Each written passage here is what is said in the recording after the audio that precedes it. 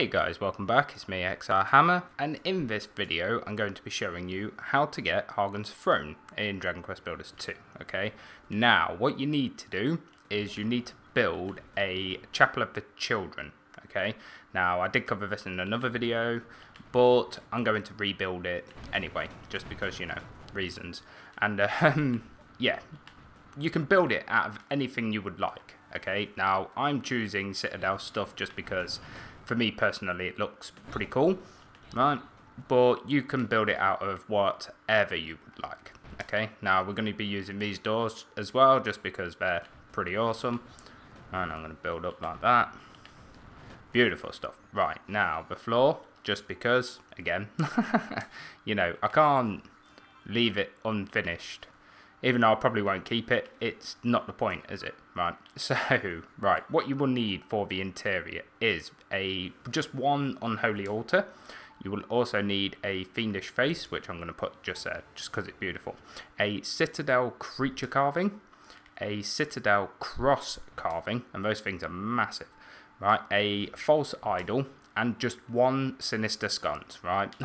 Which really sucks, but you can get, you can put down as many as you want, right? But you do only need one. And once you have done that, you will learn the recipe for Hargon's Throne, right? Now, these can be picked up early. They can be picked up in Malhalla. That's pretty cool. Look, build lots of different rooms. Ooh, getting there slowly. Right, so uh, when this dude's finished. Yeah, thank you, Mr. Hermit. Right, so yes, you can pick them up in Malhalla, but this is how you get the recipe for it, right? Now, I do have some in here, look, because, you know, Malhalla, right, which are pretty cool. So that is how they look.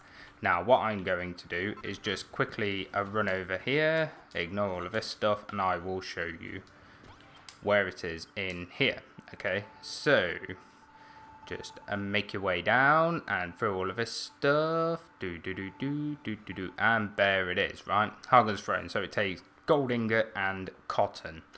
Okay, and we all know what cotton's like to farm. But yeah, this is what it looks like in the end. Hee choo choo train.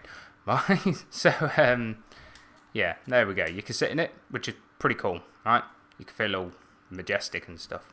Really? Game? Come on, let me sit down. So, yeah, guys, that is how to get Hargon's Throne. I really hope you all enjoyed it. If you did, be sure to leave a like and a comment down below, and I will see you all in the next one. Peace out, guys.